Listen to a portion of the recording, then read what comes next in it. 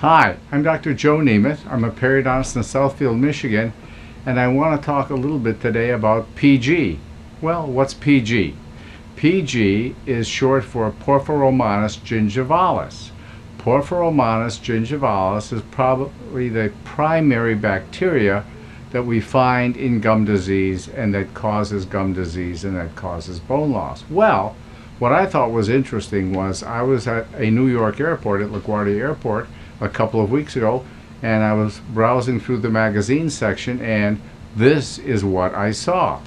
And this says, does this one microbe cause all of these conditions? Heart disease, stroke, Alzheimer's, diabetes, Parkinson's, preterm birth uh, weight loss, pancreatic cancer, kidney disease, and many, many others. I have known for a long time, and I've been researching this for a long time, about the systemic effects of gum disease. So when you have gum disease, it doesn't just affect your mouth, not by any means.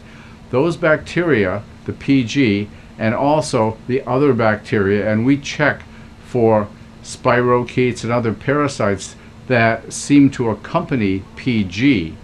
So we check for that. We take a sample from under the patient's gum and look at it under a microscope with the patient. And then if we see that, if we see these other bacteria that or spirochetes or parasites that are visible, we know that in all likelihood PG is also present.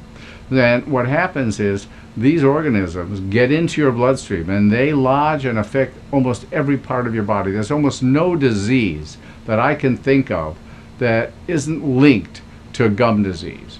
And in fact, a well known physician from Cleveland Clinic said that if you have an unhealthy mouth, and I think it's primarily gum disease, it can shorten your life by six to seven years. And I totally believe that from what I've seen. So it's really, really, really important to have your mouth healthy and your gums healthy. People just don't realize it.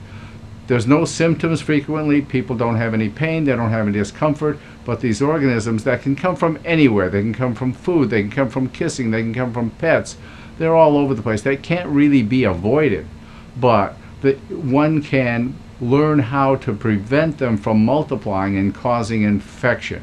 So if they're present, they need to be eliminated and then one needs to be taught and instructed on how to prevent reinfection and that's what we do here.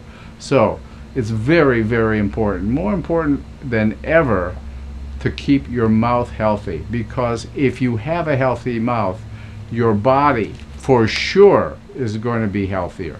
So take care of yourself. We'd love to hear from you. Subscribe to our YouTube channel uh, comments, all of that stuff is we'd love to have it.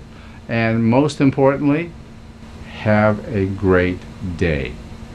Restore your smile and your health with the help of Dr. Nemeth and his associates. Visit drnemeth.com to schedule your appointment today.